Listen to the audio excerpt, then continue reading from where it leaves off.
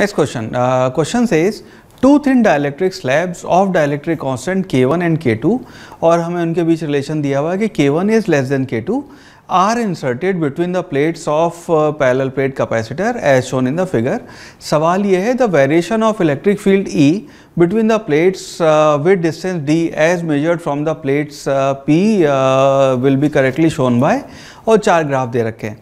Again यहाँ पे basic fundamentals आपके क्लियर होने चाहिए, कोई फॉर्मूला डायरेक्ट यहाँ पे अप्लाई नहीं होता है, अगर आपके फंडामेंटल्स क्लियर uh, नहीं है तो। ऑल फंडामेंटल्स क्लियर हैं तो बहुत आसान सवाल है, सुने। सिचुएशन ये है कि ये आपका पैरेलल प्लेट कैपेसिटर इस पर मान लीजिए प्लस क्यू चार्ज इस पर मान लीजिए माइनस क्यू चार्ज उसके बाद हमने कॉम्बिनेशन ऐसे किया कि एक यहाँ पे स्लैब लगाई, जिसका डायलेक्ट्रिक कांस्टेंट के वन है, उससे पहले एयर है, और उसके बाद फिर एयर है, और फिर यहाँ पे एक और स्लैब है जिसका कांस्टेंट के टू है, और उसके बाद फिर एयर है। ये आपका कॉम्बिनेशन है। इनके कलर अलग कर देते सो ये आपका के वन है। और ये आपका के टू है। और सवाल ये है कि आपको हमें अच्छा रिलेशन ये दे रखा है K one is less than K two या के टू उससे बड़ा है।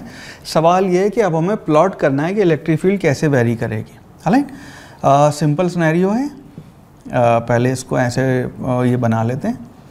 ऑनलाइन तो ये आपकी रीजन्स आ गए अलग अलग ठीक है? हमें इलेक्ट्रिक फ़ील्ड वर्सेज एक्स जब हम यहाँ से यहाँ ट्रैवल कर रहे हैं तो हमें इलेक्ट्रिक फ़ील्ड का वेरिएशन बताना है? नाउ ये अपने को पता है कि अगर ये सारा मीडियम एयर होता तो इलेक्ट्रिक फ़ील्ड जो है इनसाइड वो हमेशा आती है सिग्मा डिवाइड बाई एप्सिलॉन अगर कोई मीडियम आ जाए तो उसके लिए इलेक्ट्रिक फ़ील्ड आती है sigma divided by K times epsilon naught ये आपकी इलेक्ट्रिक फ़ील्ड होती है. सो so, यहाँ पे जो आपकी एयर है तो यहाँ पे मान लीजिए ये आपकी इलेक्ट्रिक फ़ील्ड की वैल्यू है जो इसकी वैल्यू आ गई sigma divide by epsilon naught अब यहाँ पे के वन है तो इसकी वैल्यू के वन टाइम्स कम हो जाएगी। ये वैल्यू होगी sigma divide by K one epsilon naught या फिर एयर है तो ये फिर वापस आपके इलेक्ट्रिक फ़ील्ड की ये वैल्यू आ जाएगी। उसके बाद ये के टू है तो ये वैल्यू ऐसे आ जाएगी। इसका रीज़न ये है ऐसे आने का बिकॉज़ ये sigma divided by K two epsilon है, और के टू क्योंकि बड़ा है डिनोमिनेटर बड़ा हो गया तो इसकी वैल्यू थोड़ी सी कम हो जाएगी। उसके बाद यहाँ फिर आ गई तो एयर तो आपकी ये वैल्यू हो जाएगी। सो ये आपका ग्राफ का वेरिएशन होएगा। सो यहाँ पे सिग्मा बाय एप्सलॉन या के वन से डिवाइड हुआ, या के टू से डिवाइड हुआ, और ये वेरिएशन होएगा। सो बेस्ड ऑन दिस हम चार ग्राफ देख के कह सकते हैं कि option number C would be the right answer